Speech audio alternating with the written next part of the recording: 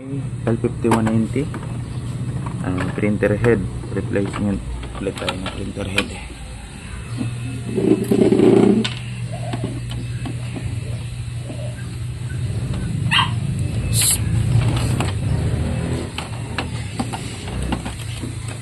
Ay sira na pala yung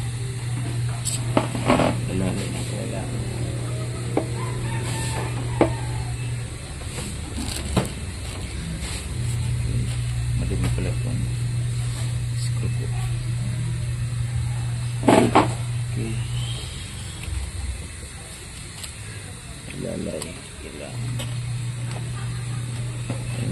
kasi sedang tulog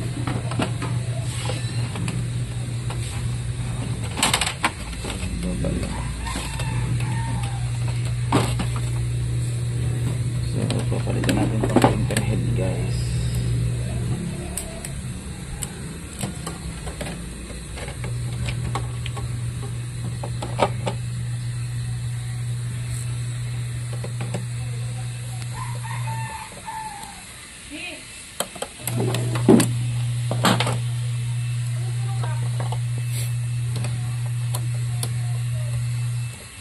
So, barari na kasi ito. Maraming color, color yellow. Oops.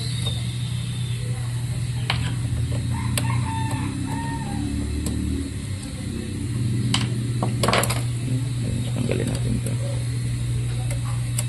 Tanggalin natin to. So, ito yung luma. Gilid natin. Ito na yung bago.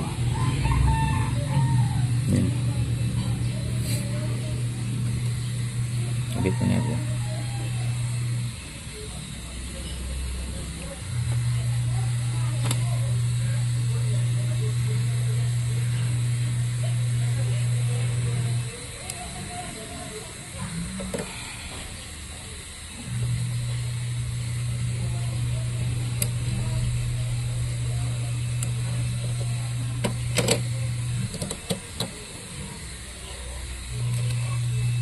Hmm, nagubusol mo.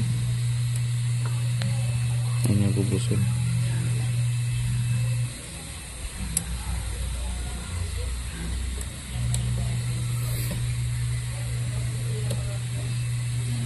Okay.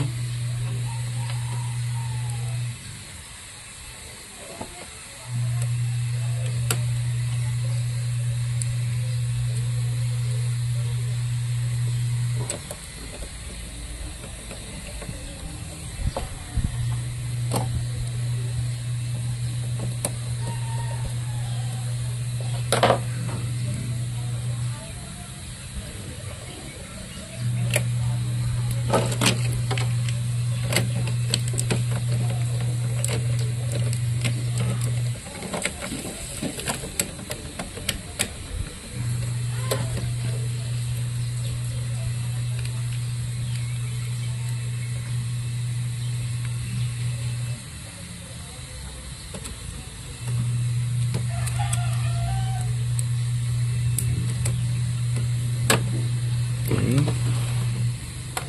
Dito na guys, hihigupin na natin guys. Para yung ink dumiretso sa printer head.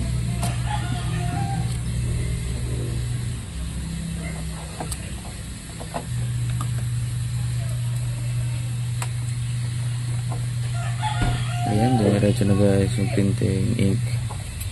Then, ito to. Tapos ibabalik natin. Tapos ite-test print natin guys. Kung kumusta yung quality ng printer head. Na natin guys.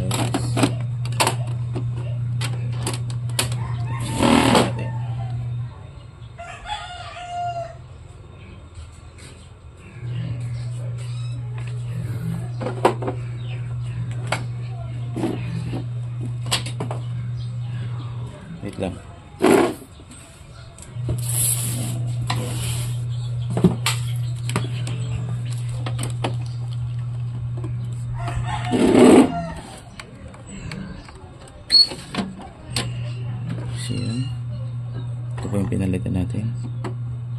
Picturean ko lang. nozzle check natin okay yung scanner niya pinalitan ko rin yan nozzle check starting up pa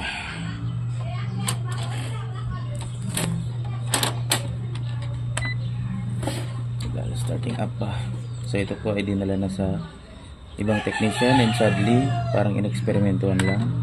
Hindi marunong ang gumawa. So hindi nala sa atin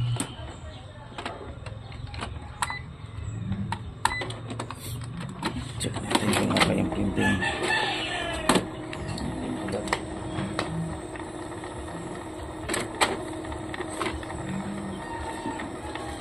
hindi ko nakalat hindi ko isa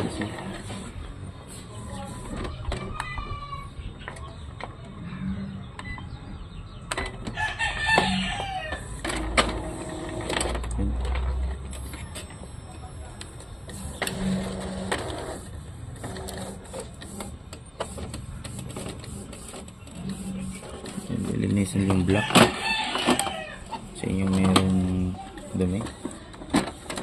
Okay. Lilinisin natin guys. Cleaning. Start cleaning. Yeah. pause ko muna guys